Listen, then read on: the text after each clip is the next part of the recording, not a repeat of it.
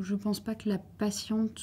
Alors, il y a quelques rares exceptions, mais je ne pense pas que la patiente soit responsable de son cancer du sein. Il n'y a pas de causalité directe. Ça n'empêche pas qu'il y a des choses qu'on peut faire pour améliorer ensuite euh, le risque de survenue d'un nouveau cancer, euh, avoir une bonne hygiène de vie, euh, faire du sport, mais il n'y a pas de causalité importante. Un cancer du sein, c'est en fait une rupture d'équilibre entre une attaque de cellules proliférantes cancéreuses et les défenses immunitaires d'une patiente. C'est quand les cellules cancéreuses sont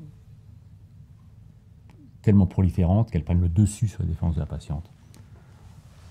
Or, les défenses de la patiente, ces défenses immunitaires, mais aussi ce sont des défenses qui sont probablement liées à des facteurs psychiques. Et toute altération du psychisme du patient peut entraîner une baisse, à mon avis, des défenses et favoriser la prolifération de cellules cancéreuses.